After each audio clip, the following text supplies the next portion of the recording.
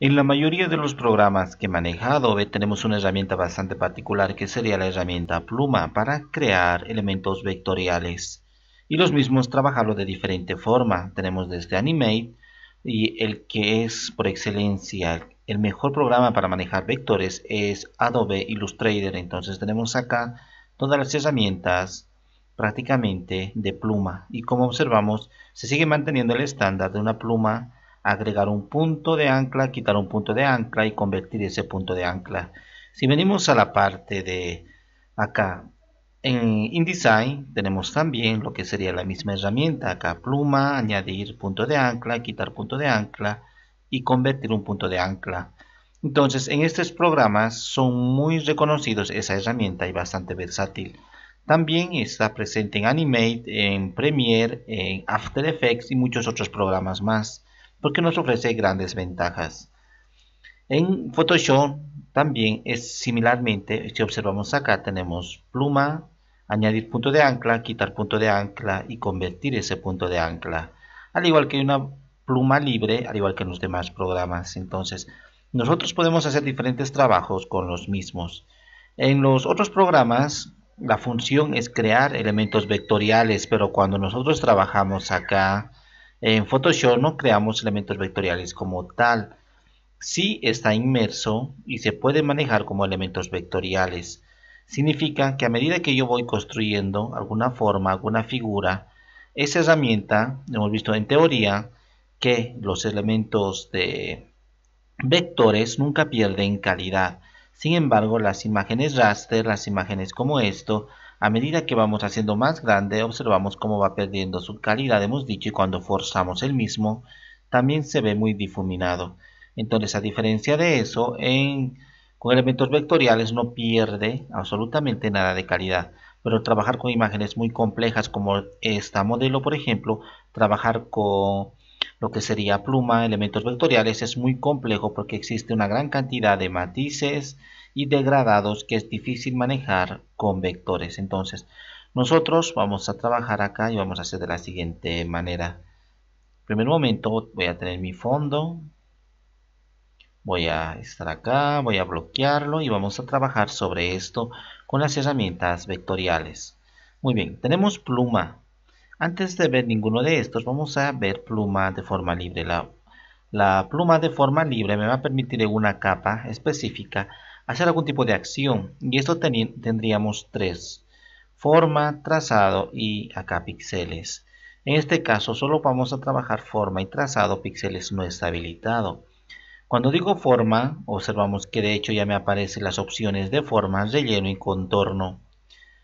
Esto todavía no lo hemos visto, más adelante lo vamos a ver cuando yo manejo alguna forma voy a hacer más grueso esto si creo esta forma, observamos que tenemos acá un relleno, que sería este color rojo, y un contorno, que sería este color gris. Entonces, la mayoría de los programas se maneja de esa forma. Es muy fácil poder modificar el contorno y el relleno. Entonces, acá está el contorno trazado y el relleno. Cuando yo voy a trabajar con, con esta herramienta, Puedo decir también que quiero similarmente una forma. Acá tengo el relleno y acá tengo el trazado. Entonces yo voy creando de esa manera, de forma libre. Una vez que llego al final, donde ha comenzado todo, me aparece el símbolo, un círculo. Voy a hacer clic y ahora me ha creado todo ello. Entonces también acá puedo manipular lo que sería el trazado o contorno.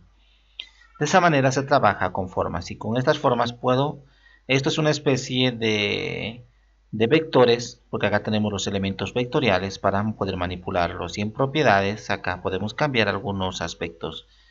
Entonces es muy fácil trabajar de esa manera. Acá tenemos nuestra forma. Y como hemos hecho de una forma libre, creando como yo quiero, también puedo hacer pero trazados. Los trazados se me va a ir acá en la, al lado de capas hay canales y hay otra pestaña si venimos a ventana, tenemos acá trazados, vamos a buscar.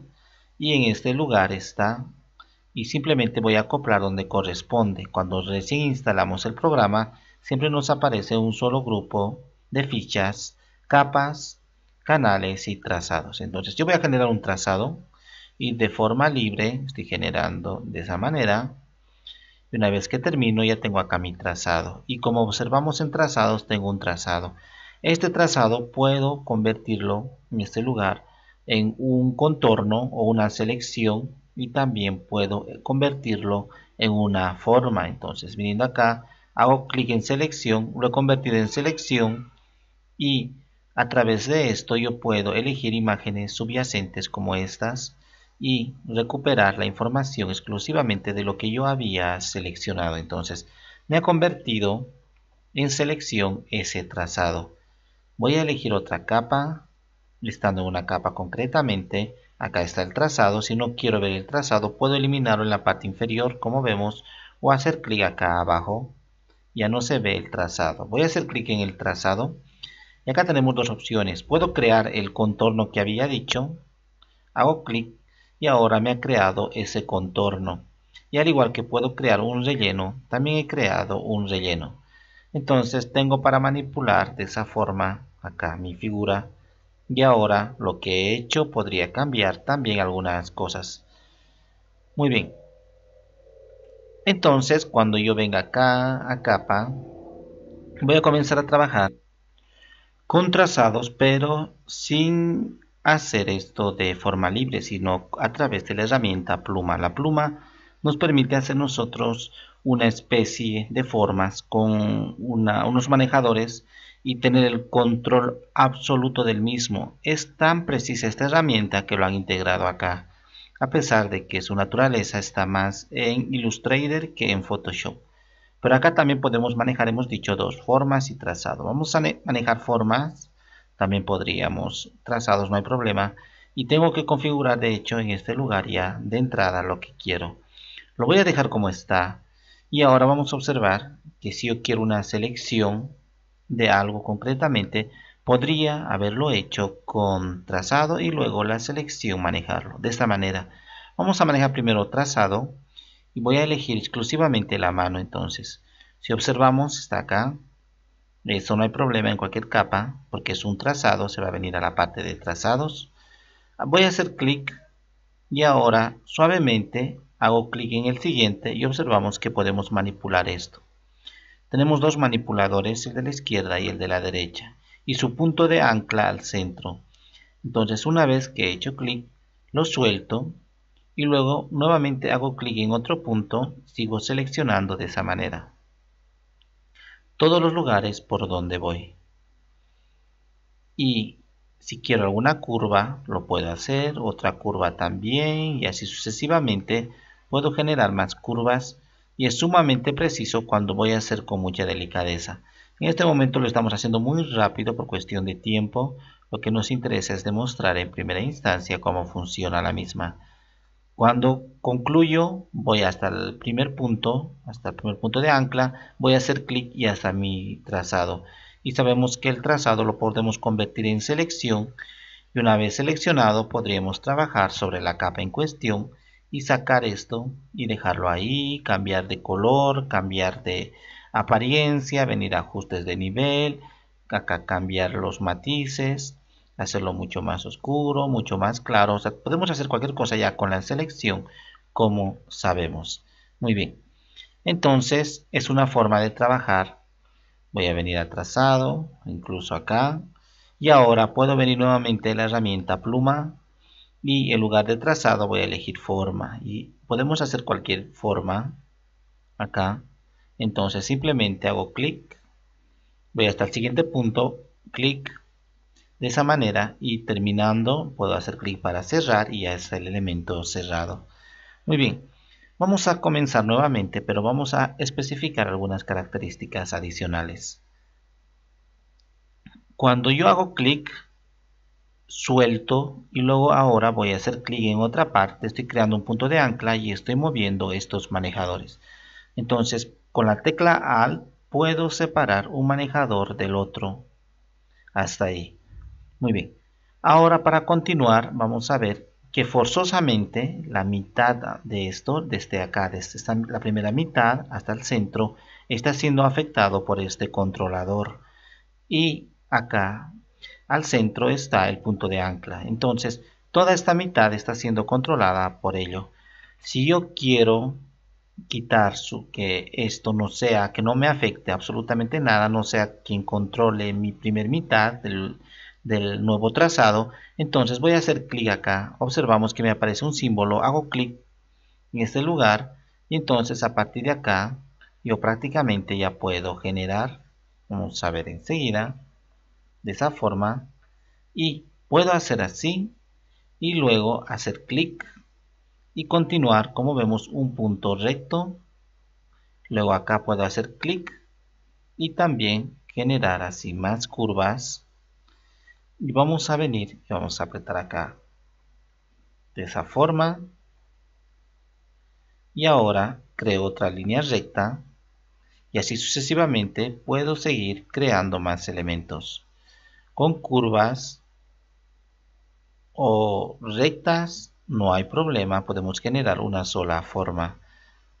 Aparte de ello, vamos a ver acá que es bastante versátil esto. Si hago clic aquí, hago clic aquí y acá ahora puedo alargarlo y me va a generar una curva porque he hecho clic en ese lugar. Después de hacer la curva, puedo venir en este lugar, hacer clic y ahora arrastrar esto que sería prácticamente su manejador, como yo voy a dejarlo de esa manera, puedo hacer que no me afecte y ahora generar una curva, una recta o cualquier cosa y con este elemento siempre manejarlo. Entonces voy a crearlo así sucesivamente para un máximo control. Tenemos las herramientas consecutivas que una vez que yo he creado esto, vamos a hacer así una, un elemento voy a concluirlo y ahora tengo puntos de ancla. Entonces con esto puedo crear más puntos de ancla. Acá tenemos unos cuantos puedo agregar muchos más. Acá acabo de crear otro y acá crear otro. Y una vez que tengo puntos de ancla puedo modificar con esta herramienta de selección de trazado o selección directa. Con selección directa vamos a hacer clic y ahora haciendo clic en cada uno de los puntos tenemos para manipular los manejadores, si hemos dicho con la tecla Alt, podemos hacer que los dos estén separados y no estén unidos. Y, e incluso mover este punto a donde yo quiera con la herramienta de selección directa. Entonces seguimos manipulando, mientras más puntos de ancla tenemos, más vamos a poder manejar el mismo, porque vamos a tener constantemente lugares desde donde podríamos modificar. Muy bien. Y luego si quiero quitar la misma herramienta de abajo puedo utilizarlo, hago clic para eliminar y voy quitando los ya existentes y me voy quedando con algunos. Y por último tendríamos la herramienta de convertir punto de ancla. Por ejemplo esto es una curva. Si hago clic se convierte en una recta porque he quitado esos manejadores igualmente en la parte inferior. Haciendo un solo clic en el punto de ancla lo he eliminado los manejadores, así que se convierte en líneas rectas. Ahora, como no tiene manejadores, entonces no puedo manipular las curvas. Si vengo, hago clic y comienzo a arrastrar, nuevamente saco estos. Y haciendo clic en el final de estos manejadores, puedo separar uno del otro sin necesidad de apretar ninguna otra tecla, absolutamente nada. Entonces con esto puedo seguir creando más curvas a partir de ahora. No nos olvidemos que la herramienta complementaria para seguir manipulando es la selección directa.